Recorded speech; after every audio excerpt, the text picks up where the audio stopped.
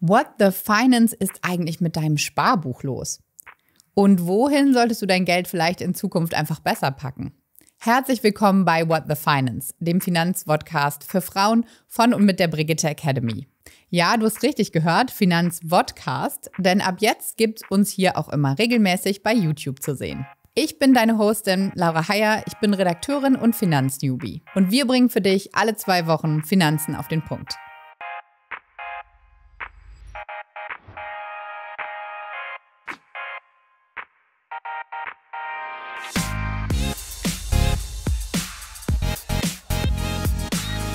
Um heute alle Fragen rund um die Themen Tagesgeld, Festgeld, Girokonto und auch das altbekannte Sparbuch zu beantworten, habe ich mir eine Finanzexpertin ins Studio eingeladen, nämlich Lisa Hassenzahl. Und Lisa ist Finanzplanerin und auch Gründerin von Her Family Office. Und sie ist Expertin in unserer Masterclass Finanzen, unserem achtwöchigen Online-Kurs, in dem du lernen kannst, deinen eigenen Vermögensplan aufzubauen und langfristig deine Finanzen zu regeln. Lisa, schön, dass du heute mit dabei bist. Ja, hallo Laura, schön hier zu sein. Dann verrat mir doch mal einmal zu Anfang, das machen wir jetzt neu im Podcast und Vodcast. Was erfahren wir heute in dieser Folge? Worüber wollen wir sprechen? Ja, also du hast es äh, ja schon sehr gut gesagt. Es geht ähm, vielleicht erstmal um die ganz einfach erscheinenden, aber durchaus spannenden Fragen. Was sind eigentlich die Unterschiede zwischen Festgeld, Tagesgeld, Girokonto? Was davon brauche ich? Was davon brauche ich vielleicht auch nicht? Mhm. Und worauf sollte ich achten, wenn ich eine entsprechende Bank auswähle? Ähm, aber eben auch um die Frage, wie viel Geld sollte denn auf dem Konto liegen und wie sollte die Struktur insgesamt aussehen in Sachen Rücklage, aber auch auf Seite der Kapitalanlage im Depot. Okay, ich bin total gespannt, ähm, was wir alles mitnehmen können aus dieser Folge. Ein Konto, man bezeichnet es ja immer als, ich habe ein Konto, meistens ist es ein Girokonto und es kommt aus dem Italienischen, wie ich nachgeguckt habe, von Konto. Ich bin mal gespannt, wahrscheinlich kriegen wir, ich hoffe, das war jetzt in Ordnung so, ähm, und steht eigentlich für Rechnung und hat sich so im 15. Jahrhundert als Begriff etabliert. Ähm, und ich habe es gerade schon gesagt, Girokonto ist, glaube ich, den meisten ein Begriff, womit man umgeht. Aber da gibt es ja noch eine weitere Range eigentlich beim Thema Konto.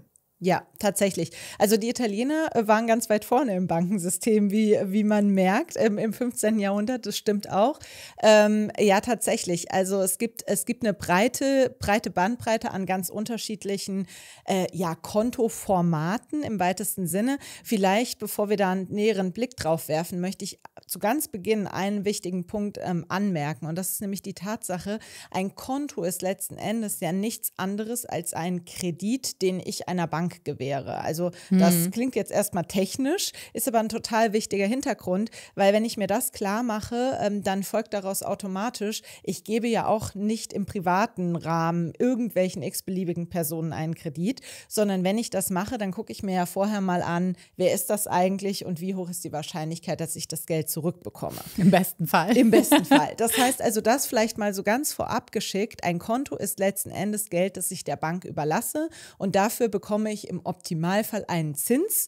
Ähm, hatten wir ja lange gar nicht. Also mhm. vielleicht die jüngeren Hörerinnen äh, haben das vielleicht noch gar nicht erlebt. Müssen wir noch eine Zinsfolge machen. Müssen wir noch mal erklären, was das ist. Ja, ähm, aber tatsächlich, also das ist im Grunde genommen erstmal das Grundkonstrukt eines Kontos. Ich gebe Geld weg ähm, und bekomme, je nachdem, welches Konto es eben ist, mhm. einen Zins.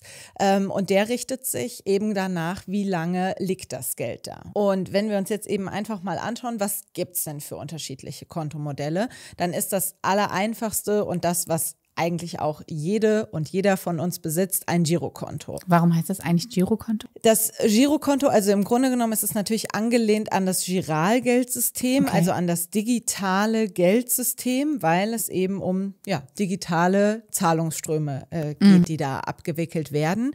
Ähm, das heißt also, hier laufen Einnahmen und Ausgaben, ähm, das Arbeits-, also die entsprechende Arbeitslohn kommt dort drauf, Miete geht ab, ich kann mit der Kredit- oder EC-Karte Bankkarte mhm. eben entsprechend zahlen. Das heißt also, das Girokonto ist eigentlich wirklich so da, um den täglichen Liquiditätsbedarf ähm, zu decken.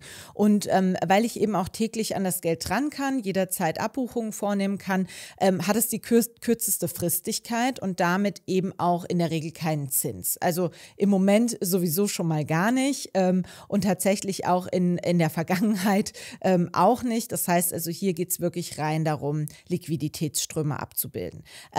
Zinsen gibt es dann eben erst, wenn ich ein bisschen weitergehe in der Fristigkeit. Also das nächste, was sich ja dann anschließt, ist, ist das Tagesgeldkonto.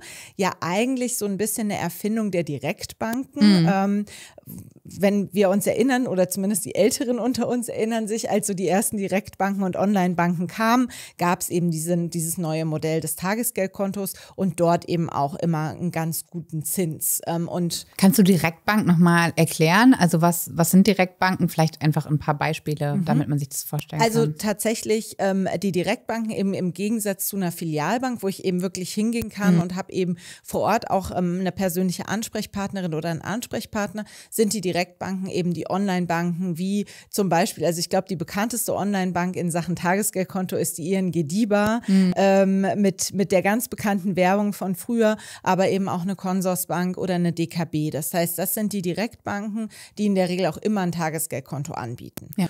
Und jetzt durch die eben wieder gestiegenen Zinsen sehen wir auch durchaus schon Banken, die auf Tagesgeldkonten wieder leichte Zinsen einräumen. Was ist die Besonderheit? Ich kann dort in der Regel nicht direkt überweisen. Das heißt also, okay. also, das Tagesgeldkonto ist nicht direkt gekoppelt an den Zahlungsstrom, mhm. sondern ich muss dann immer rüber überweisen auf das Girokonto, ähm, um dann eben irgendwelche Überweisungen oder Bezahlungen vornehmen zu können. Und dann gibt es eben sozusagen als Steigerung und dann auch Fristigkeit das Festgeldkonto. Da lege ich das Geld eben für einen gewissen Zeitraum an, ein halbes Jahr, ein Jahr, zwei Jahre oder auch länger. Und im Gegenzug bekomme ich hoffnungsvoll ähm, eben auch einen entsprechend höheren Zins, weil wenn man das eben wieder die Analogie zu dem Kredit aufgreift, ist es natürlich so, je länger ich mein Geld festlege, desto höher ist ja auch das Risiko, dass sich in der Zeit vielleicht etwas ändert oder auch, dass ich das Geld vielleicht hätte anderweitig einsetzen mhm. können. Also verlange ich da natürlich auch einen entsprechend höheren Zins. Du hast jetzt eben von Fristigkeit gesprochen zwischendurch. Also das bezieht sich dann wirklich auf die Frist, in der man das Geld dort lässt, oder? Genau. Okay. Genau. Also das heißt, wie, wie lange man es dort lässt, beziehungsweise wie, la wann, wie lange es dauert, bis ich überhaupt wieder ran kann. Okay. Mhm. Ja, also ähm, bei einem Tagesgeldkonto kann ich eben täglich verfügen. Ich muss es im Zweifel nur rüber überweisen auf mein Girokonto. Und bei einem Festgeldkonto ist es wirklich so, wenn ich ein Festgeld für ein Jahr abschließe, dann muss ich in meiner Planung wirklich äh, einkalkulieren, dass ich eben erst in einem Jahr wieder an das Geld dran kann. Jetzt ähm, kennen vielleicht viele noch das gute alte Sparbuch. Also ich bin 1991 geboren. Ich hatte von meinen Großeltern noch ein Sparbuch. Das gibt's, glaube ich, gar nicht mehr. Also magst du noch mal einmal den Unterschied erläutern? Sparbuch in diesem Konglomerat mit ja, Tagesgeld, Festgeld. Ja, also tatsächlich hat das Sparbuch beziehungsweise das Tagesgeld das Sparbuch so ein Stück weit abgelöst. Ah, okay. Also im Grunde ist das, ist das Tagesgeldkonto, so würde ich es jetzt mal formulieren, das digitalisierte Sparbuch. Mhm. Weil auch beim Sparbuch war es ja so, man konnte täglich zur Bank gehen und konnte sich eben Bargeld abheben und auszahlen lassen. Ähm, und das kann ich bei einem Tagesgeldkonto ja auch. Mit dem Vorteil, ich kann es eben 24 Stunden mhm. ähm, und sieben Tage die Woche und eben nicht nur an den Bankarbeitstagen. Aber im ja. Grunde genommen ist das tatsächlich ein Stück weit ähm, die, die Neuerung und die digitalisierte Form. Okay. Ja, beim Sparbuch hatte man echt noch so ein Buch, ne? Da wurde dann ja. auch so reingestempelt und ja. unterschrieben, wenn ja, es und die Zinsen gab. wurden nachgetragen, weil die wurden ja nicht automatisch in dem Buch, das ist ja nicht per Zauberhand dort einfach erschienen, sondern ja. wenn man dann eben mal zur Bank gegangen ist, wurden die Zinsen nachträglich gut geschrieben. Also das äh, war tatsächlich noch, kann man sich heute gar nicht mehr vorstellen. So schwierig, ne? Ja. Aber ja. Äh, apropos Zinsen, ähm, Tages- und Festgeld bekommen ja gerade aktuell auch wieder mehr Aufmerksamkeit. Und wir kommen ja quasi aus einer Nullzinsphase, sogar gefühlt Negativzinsphase. Ja. Ähm, magst du vielleicht einmal gerade so ein bisschen die Entwicklung im Bereich Tagesgeld, Festgeld einordnen? Wie hängt das zusammen und warum liegt da jetzt auf einmal wieder der Fokus? Also äh, der Fokus kommt natürlich wirklich ganz klar daher, du hast es gesagt, also das, das war ja jetzt auch in sehr, sehr kurzer Zeit ein absoluter Quantensprung. Also noch von der Frage, wo kann ich, also zumindest diejenigen, die größere Beträge auf mhm. den Konten hatten, wie kann ich denn das machen, damit ich kein Verwahrentgelt, wie das, äh, wie das ja hieß, äh, zahlen muss, dafür, ja. dass ich sozusagen Geld auf dem Konto habe. Wo soll ich hin mit meinem Geld? Jetzt doch wieder hin zu wo gibt es denn die höchsten Tagesgeldzinsen? Also ein ja. Wahnsinn, wie schnell das auch ging. Und natürlich äh, kommt diese hohe Aufmerksamkeit daher, dass wir das ja alle gar nicht mehr gewohnt sind, dass es Zinsen gibt. Und natürlich reißen sich jetzt alle darum. Ähm, an der Stelle auch einfach wirklich mal ganz klar der Hinweis, da echt Ruhe zu bewahren. Ja, also ich weiß, es mhm. sind aufregende Zeiten, ähm, aber man muss hier wirklich ganz genau gucken, lohnt sich dieser Aufwand jetzt wirklich für 0,02 Prozent oder wie auch immer mehr da jetzt mhm. irgendwie äh, hin und her zu wechseln oder Risiken einzugehen. Aber dazu äh, komme ich auch gleich nochmal. Was lohnt sich wirklich und was nicht? Aber woher kommt es natürlich? Naja, das kommt eben generell aus dem deutlich gestiegenen Zinsniveau, das wir haben. Ähm, in der Folge aus der extrem hohen Inflation durch mhm. äh, Corona, durch den Ukraine-Konflikt. Das alles hat ja eben entsprechend dazu geführt, dass wir extrem hohe Inflationsraten hatten und die Zentralbanken sowohl äh, vor allem natürlich natürlich auf US-Seite, aber eben auch auf europäischen, europäischer Seite die Leitzinsen, also die zentralen Orientierungszinssätze angehoben haben. Und damit steigt natürlich auch generell das Zinsniveau. Aber was stellen wir fest? Lange nicht so schnell ähm, wie an anderer Stelle. Also wenn ich einen Kredit aufnehmen möchte oder eine Baufinanzierung möchte, muss ich deutlich mehr Zinsen zahlen, als ich auf dem Tagesgeldkonto oder Festgeldkonto bekomme. Mhm. Ähm, das heißt also hier schon mal der erste Zusammenhang, ja, die Zinsen steigen, aber lange nicht so schnell. Ähm, und B ist es natürlich auch so, die Inflation ist so hoch, das sei auch gesagt. Ähm, also nur weil wir jetzt wieder Zinsen auf dem Tagesgeldkonto haben, heißt es nicht, dass das äh, des Rätsels Lösung und die, mhm. die beste Anlage Anlagestrategie ist. Ja, ich glaube, wir sprechen bei Tagesfestgeld, ich glaube, Festgeld 2,5 Prozent kann man gerade bekommen. Die Inflation ist bei sieben, rund sieben, sechs also oder acht, genau, acht Prozent. Ja, ja. Ja, und, und vor allem haben wir im Moment auch wirklich ja noch das Phänomen, dass wir diese, diese Tagesgeldzinssätze von zwei oder mehr Prozent, die sind in der Regel ja zeitlich und auch was den Betrag angeht begrenzt. Da ist es natürlich verlockend zu sagen, oh, ich mache mir da jetzt ein Konto auf und nehme diese zwei Prozent mit. Ähm, und natürlich kann man das machen, aber wie gesagt, ähm, das kann oder sollte nicht die, die, die Anlagestrategie und die zentrale Strategie sein. Ähm, man kann das machen und mitnehmen, wenn es sich anbietet, aber da jetzt die ganze Energie drauf zu äh, setzen, ist vielleicht auch ein bisschen überzogen. Zumal man eben sagen muss, also auf der Tagesgeldseite ist es durchaus durchaus interessant, wirklich diese Zinsen mitzunehmen und natürlich ein bisschen zu schauen. Mhm. Ähm, was aber ganz klar im Moment aus meiner Sicht unattraktiv ist, in aller Regel sind die Festgeldzinsen. Also wenn man sich mal anschaut, was, ähm, wo liegt der Leitzins? Das ist sowieso mal was ganz anderes. Und was bekomme ich auf dem, auf dem äh, Festgeld geboten?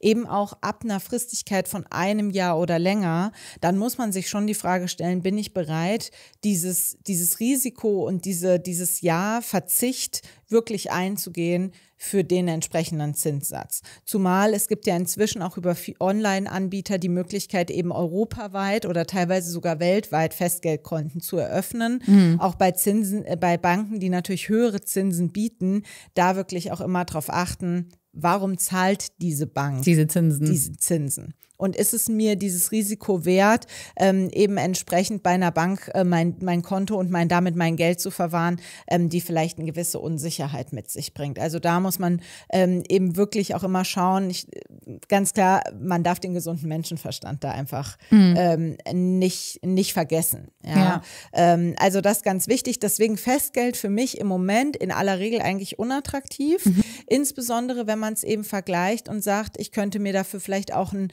Geldmarktfonds kaufen, also ein entsprechendes Instrument in meinem Depot, was ich dort in meine Anlagestrategie mit einfließen lassen kann, ähm, was eben sich auf andere Zinssätze beruht. Das hängt viel, viel enger an den Leitzinsen der EZB, so ein Geldmarktfonds, als ähm, es die Banken eben machen auf den Tagesgeldkonten oder auf den Festgeldkonten, weil mhm. die lassen sich Zeit mit der Weitergabe der Zinssätze ähm, am Geldmarkt das ist sozusagen nochmal eine Stufe zwischen Konto und dann den Anleihen. Mhm.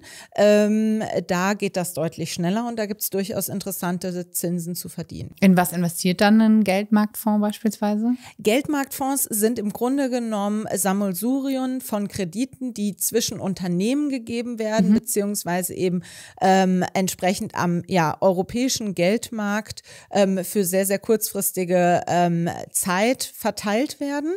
Ähm, und die hängen eben deutlich enger an äh, den Leitzinsen. Ähm, und durch diese kurzen Kredite, die da aber vergeben werden, ist es auch tatsächlich sehr, sehr risikoarm. Also Geldmarktfonds waren in der Vergangenheit eigentlich wirklich, das war so das unattraktivste, was man überhaupt kaufen konnte, war lange Zeit überhaupt kein Thema, weil es dort eben nichts zu verdienen gab. Aber mhm. jetzt also wenn man, ich habe das Thema ja auch ganz oft äh, tagtäglich in der Beratung, da ist wirklich die, der, der Hinweis zu sagen, also bevor ich mich jetzt mit einem Festgeld vielleicht sogar zwei Jahre festlege, mhm. ähm, dann gehe ich doch lieber her und kaufe mir einen Geldmarktfonds ähm, und habe da durchaus einfach viel inter interessantere Renditen. Vielleicht dann auch für die Zuhörerinnen, die sagen, uh, ich bin eher ein bisschen risikoavers, ähm, möchte aber trotzdem investieren und mein Geld nicht einfach nur rumliegen lassen, wäre das beispielsweise einfach eine Anlageform. Absolut. Nicht nur, weil da sind wir wieder bei dem Thema, was du gesagt hast, Inflation. Mhm. Ja,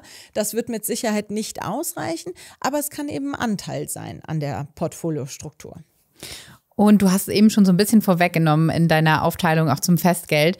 Aber jetzt kann ich mir natürlich die Frage stellen, gut, die Inflation ist da, der Aktienmarkt ist mir vielleicht ein bisschen suspekt. Warum dann nicht einfach mein Geld ähm, auf dem Tagesgeldkonto parken? Oder wie sollte ich vielleicht einfach mein Geld, das ich habe, aufteilen ähm, zwischen Tagesgeld, Festgeld, ETFs ähm, in unserem Fall? Also wie ja. diversifiziere ich da sozusagen zwischen den Sachen? Ja, also wie gesagt, deswegen habe ich es eben auch schon mal so deutlich äh, gesagt. Es ist, Tagesgeldkonto ist keine Anlagestrategie. Ja, also voll, wie, wie du richtig äh, gesagt hast, die Inflation liegt bei 8 Prozent.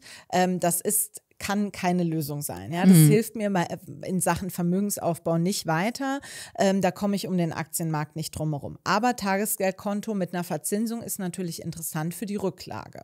Ähm, bevor ich es unverzinst auf dem Konto, auf, auf, dem Girokonto liegen lasse, kann ich meine Rücklage, ähm, da ist es ja sehr unterschiedlich. Also es gibt ja die Daumenregel drei Monatsgehälter, ähm, eben entsprechend ähm, Teile davon vielleicht aufs Tagesgeldkonto legen und das, was ich natürlich brauche, um laufend laufende Kosten zu decken, muss dann eben auf dem Girokonto bleiben. Also das ist durchaus ähm, sehr, sehr gut geeignet, um wirklich die Rücklage dort zu parken. Und 2% auf eine Rücklage, die ich sonst vielleicht hätte unverzinst irgendwo liegen gelassen, ist natürlich das heißt super nix. interessant. Absolut. Das ist schon gut.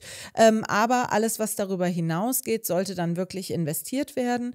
Ähm, und da ist äh, natürlich immer die Frage hinsichtlich Aufteilung, was soll in Aktien, was soll in Anleihen gehen. Ich habe eben die, äh, die Geldmarktfonds angesprochen. Ähm, aber wie gesagt, vor allem, was die Anlagestrategie angeht, reden wir ja wirklich über Aktien oder über Anleihen auch die Anleihen als Anlageklasse ja wieder viel spannender als noch vor, mhm. äh, vor einem Jahr. Ähm, also von daher hier wirklich die Frage, was die Aufteilung angeht, im, im Hinblick auf, welche Rendite will ich denn oder muss ich denn verdienen? Ähm, da eben das Stichwort natürlich auch mal eine Rentenlücke ähm, zu berechnen ähm, und sich zu überlegen, wie muss denn meine Anlagestrategie auf dieser Basis aussehen? Ähm, und dann kann ich, kann ich mir eine Aufteilung äh, einfallen lassen. Hier die Daumenregel ist grundsätzlich, also zu sagen, okay, ich brauche mal mindestens 50 Prozent Aktien, ähm, damit ich auf eine gute Größenordnung komme, was die Renditeerwartung angeht, damit ich auch eine Chance habe, die Inflation auszugleichen. Ähm, 70-30 ist ja häufig so ein Portfolio, was gerade auch für jüngere äh, Anlegerinnen ähm, entsprechend im Raum steht, also 70 Prozent Aktien, 30 Prozent Anleihen. Ähm, und das kann auf jeden Fall mal eine Zielstruktur sein. Mhm. Und dann kommt es ja immer darauf an, wie komme ich dahin. Also wenn ich jetzt sage, ich fange über monatliche Sparraten an, dann macht es mit Sicherheit erstmal Sinn, nur mit Aktien anzufangen, damit ich nicht von vornherein mit angezogener Handbremse losfährst. Ja? ja, also wenn ich, wenn ich eben anfange, mein Depot aufzubauen, dann ist dieses Risiko, selbst wenn ich nur in Aktien investiere, also in ETFs, auf Aktienindizes genau. ähm, investiere, ähm, recht überschaubar. Mhm. Wenn ich natürlich größere Beträge zu investieren habe, aus Schenkungen, Erbschaften oder weil ich es bisher auf dem Konto angespart habe, dann muss ich mir natürlich schon überlegen, wie teile ich das auf? Mache ich vielleicht die Anleiheseite über eine Einmalinvestition und ähm, die Aktienquote, die baue ich mir Schritt für Schritt über einen Sparplan auf. Das ist immer eine sehr gute Variante, weil ich damit Risiko streuen kann. Ähm, und gerade wenn ich eben auch erst anfange, kann ich mich so ganz gut an die Schwankungen am Aktienmarkt gewöhnen. Hm. Das wäre jetzt auch noch meine Frage gewesen, wenn ich jetzt einfach für Beispiele, also wenn ich jetzt einen Betrag habe, wie teile ich den auf? Auf mein Tagesgeld ähm, oder Konto, auf meinen Fonds oder beziehungsweise auf meinen Sparplan? Ähm, was sind so Beträge? Sagen wir mal, ich habe 15.000 Euro, damit man es mhm. einfach mal ein bisschen verbildlicht hat. Mhm. Wie würdest du es aufteilen? Was soll, soll wohin? Also wie gesagt, von den, von den 15.000 Euro, das kommt jetzt natürlich darauf an, wie hoch das Monatsnettogehalt ist, ja, ähm, würde ich auf jeden Fall mal mindestens zwei äh, bis drei Nettogehälter ähm, als Rücklage sehen. Weil das muss man eben schon einfach sagen, ähm, alles, was in Wertpapiere geht, egal ob übrigens Anleihen oder Aktien, ist erstmal investiert und das sollte ja langfristig dort bleiben, eben einfach, ähm, um die Schwankungsrisiken zu minimieren. Ähm, deswegen also zwei bis drei Monatsgehälter sollten Rücklage sein und die Differenz, die kann ich eben sehr gut, also wenn wir jetzt mal sagen, das wären um es einfach zu rechnen, 6.000 Euro, dann ja. bleiben 9.000 Euro entsprechend übrig. Und da ist es durchaus so, dass man eben hergehen kann, auch je nach Risikobereitschaft ähm, und könnte jetzt, hätte ich jetzt auch keine Bauchschmerzen mit, das komplette Geld ähm, in Aktien erstmal zu investieren. Ja, ähm, vielleicht nicht auf einen Schlag, sondern eben ähm, schrittweise über Sparpläne. Ähm, wenn ich so einen größeren Betrag habe, kann ich die monatliche Sparrate auch einfach etwas größer wählen und kann zum Beispiel sagen, ich mache neunmal 1000 Euro. Ja, mhm. dann habe ich natürlich aber erstmal nur Aktien. Ähm, wenn ich je nach je nachdem, wie alt ich bin, wie meine Gesamtsituation aussieht, könnte ich aber auch hergehen, könnte sagen, also von den 9000 Euro nehme ich 3000 Euro, die investiere ich in Anleihen. Auch da gibt es ja inzwischen, wie gesagt, gute Renditen zu verdienen. Und die anderen 6000 Euro, die nehme ich und investiere sie in den Aktienmarkt. Ja, dann habe ich eigentlich ein sehr ausgewogenes Portfolio ähm, mit einer entsprechenden Mischung aus Aktien und Anleihen und habe hier schon mal eine Zielstruktur aufgebaut, ähm, auf der ich dann auch weiter arbeiten kann mit Sparplänen entsprechend vorgehen. Und mein Notgroschen habe ich dann ja auf dem Tagesgeldkonto. Wie hältst du es? Trennst du Tagesgeld, Girokonto ähm, bei Banken auch oder hast du alles in einem? Macht das, macht das irgendwie Sinn oder macht das auch Sinn, mehrere Tagesgeldkonten zu halten? Das kommt natürlich darauf an, wie viel Geld auf den Konten liegen. Also mhm. da sind wir, ähm, sind wir ganz ganz unmittelbar bei dem Thema Einlagensicherung. Also grundsätzlich ist es erstmal so, ähm, dass es überhaupt nicht notwendig ist, zwingend mehrere Banken zu haben. Okay. Man wird dazu natürlich verleitet, weil dann gibt die eine Bank mal eine Sonderkondition und ja. die andere Bank eine Sonderkondition. Aber erstmal, das ist genau wie bei Depots, da ist auch manchmal so der, der, der, also scheint es so zu sein, dass man denkt, man braucht mehrere Depots. Braucht man nicht. Ja, es gibt Leute, die haben sehr große Vermögen auf einem Konto und in einem Depot grundsätzlich erstmal. Ähm, also von daher ist es nicht zwingend notwendig, aber natürlich Einlagensicherung bis 100.000 Euro. Mhm. Also sollte aus welchen Gründen auch immer meine Rücklage auf dem Konto 100.000 Euro übersteigen, wegen Hauskauf oder was auch immer, dann macht es natürlich schon Sinn, im Zweifel mehrere Tagesgeldkonten zu haben, auf die ich das verteile, schlicht und ergreifend, um hier eine sehr, sehr einfach herzustellende Sicherheit zu haben, dass ich eben nicht über diese 100.000 Euro komme. Dann macht das Sinn. Für alle anderen macht das nicht zwingend Sinn, weil es eigentlich nur die Komplexität erhöht.